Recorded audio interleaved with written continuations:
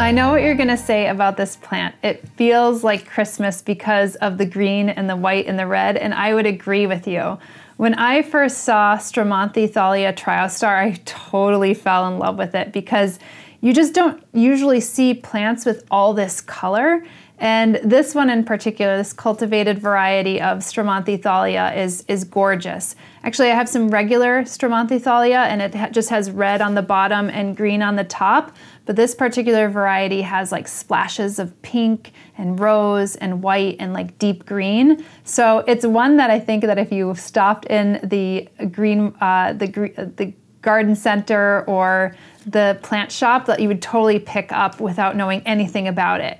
And I do have to say that this is a little bit of a finicky plant. I've lost uh, a couple in my day and now I have two more and I'm giving another shot at, um, at them. And it's, uh, it's finicky because of a variety of different reasons.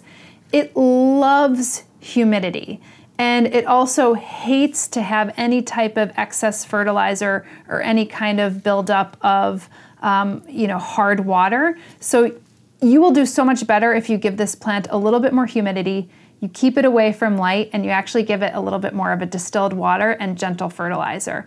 Those are kind of like the main things with this. You might notice some inconsistencies with this plant. So I have some like brown markings along the edges.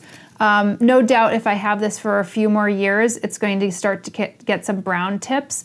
And right now I have this maybe four feet away from a southwest facing window. It's actually where my regular Stromanthe thalias are.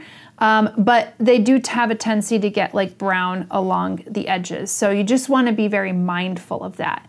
I do have to kind of keep this away from my chicken because she actually loves to eat this. So if you have particular pets, um, you might find that some of the pets like to eat more plants than others and for whatever reason my my chicken loves this so I would like to have this in a different part of my house um, because I think it would be better for this particular plant like in a northeast facing window with a little bit more of a gentle light and a higher humidity situation but I don't have that option anymore because I have my chicken so um, I have to give it what it, it, it gets and that means it might be a little like suboptimal condition so as far as soil goes, this does like to maintain a little bit of wetness. So if you give it a little bit of a peatier mix, less well draining, it could actually maintain some of that water in the soil.